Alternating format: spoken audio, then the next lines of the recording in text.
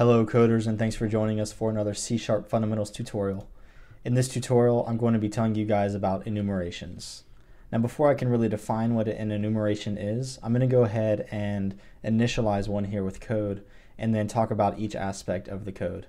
So I'm going to start off by saying enum, so C Sharp's keyword enum, game state. So I, I think I've said this before in my tutorials. I really like to do game examples because it's something that we're all familiar with. We've all played games before, so those concepts are nothing new to um, the general um, learner of programming. Okay, so I'm going to use a game example, and in this for this enumeration, we're going to call it game state. And what's going to go inside these curly braces is the different game states that we're going to have. Okay, if we're going in a different direction, we could have an enumeration for months of the year, and the values that would go inside the curly braces are going to be the months. So we could have January, February, March, uh, April, and so these values are going to be separate by, separated by a comma. Okay, and so our game states are going to be menu, playing, and pause. So we're just going to do three game states for now. Okay, and so this is essentially what this line of code does is it, it creates an enumeration called game state with three values, menu, playing, and pause. And what game state becomes is a data type for you to use. Okay, so we aren't done yet. Instead, we have to create a variable.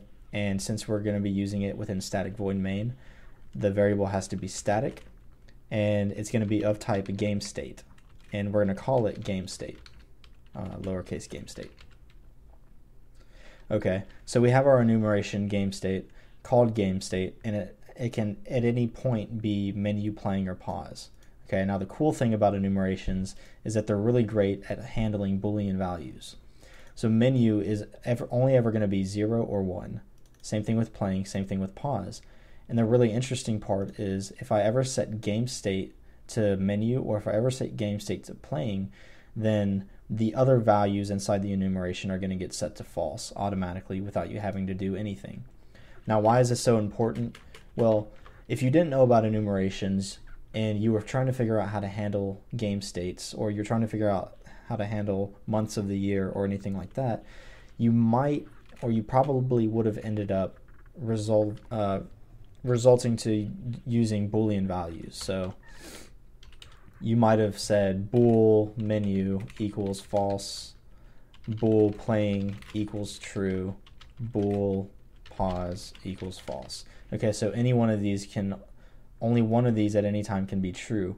So anytime you were to change your game state, so let's say I wanted to go from playing to menu, I would have to write three more lines of code for each state um, saying that menu is now true, playing is now false, false, and pause is now false. Okay, so you would have to, for any, basically for any number, for however many numbers of values you have in your enumeration, is how many Boolean lines of code you would have to write each time you wanted to change the state. With enumerations, all you have to do is one line of code, and it goes something like game state in this example equals game state dot playing.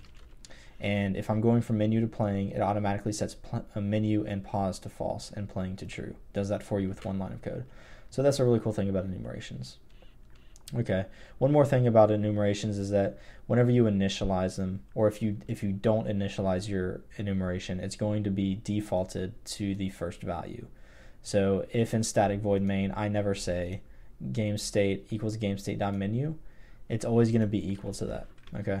So entering main, I could say game state equals game state dot menu and whether I use this line of code or not, my, my game or my program is going to run exactly the same.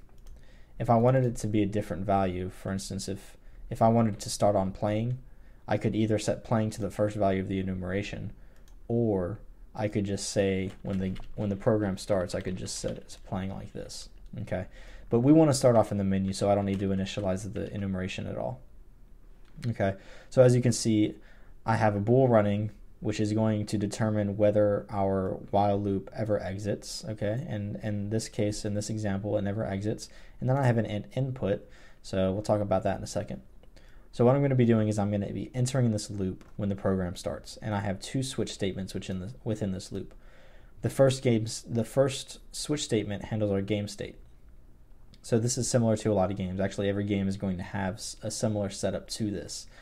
Uh, this is kind of like a state machine. We have case game state is menu. We're going to run some logic. Case game state is playing. We're going to run some other logic. Case game state is pause. We're going to run some other logic. So in the menu, we might be updating um, some UI elements, some buttons.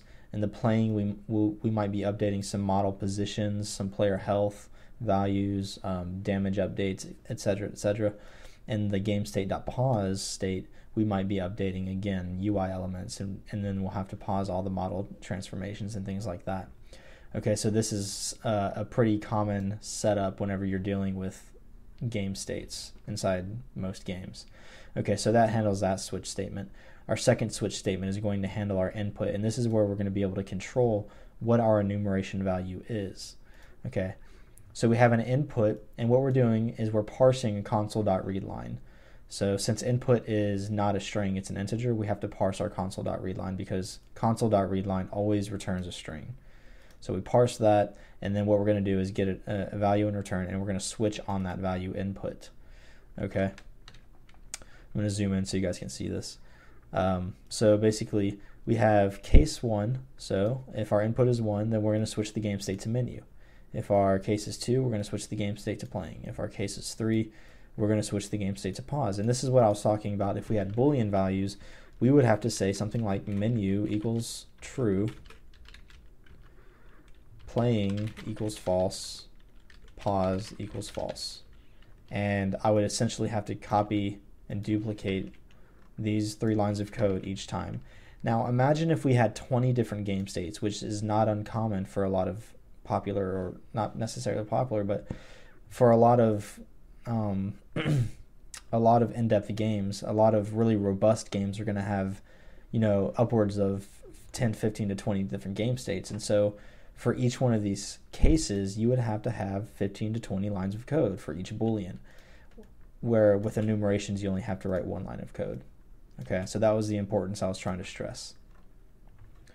So if we run this, then what we're going to be able to do is we're going to see what the current game state is, and then we're going to be able to enter a value from 1 to 3 to change the game state.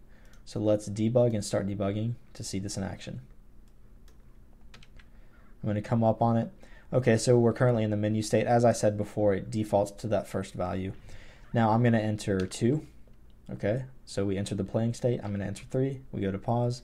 I'm going to go back to playing by pressing 2 and back to menu by pressing 1. Okay, so as you can see, we have full control over the uh, current game state or the current value of the enumeration. Excuse me.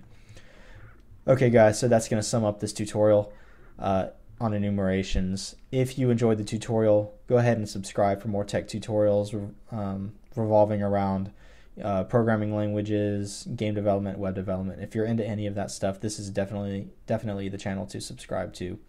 Um, as always, thanks for watching, guys. I'll see you next time.